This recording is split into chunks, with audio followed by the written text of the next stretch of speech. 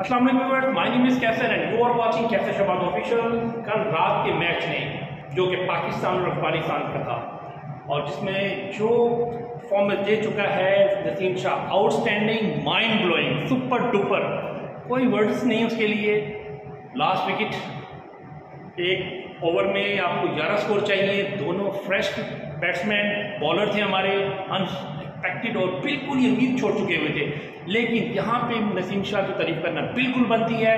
वो उन्नीस साल का बच्चा, हमारा जो शीला नौजवान, उसने अपना आप दिखाया, उसने कहा कि मैं बॉलर नहीं, मैं बैट्समैन भी हूँ। मैं सब टीमों को यही मैसेज दूँगा कि नसीम शाह को आप कभी हल्का न लीजिएगा, किसी भी कुछ भी कर सकता है गेम चेंजर है। अपना बहुत सा ख्याल रखें हमारी नेक दुआएँ, नेक तमन्ना है पाकिस्तानी टीम के साथ। Naseem Shah keep it up we are with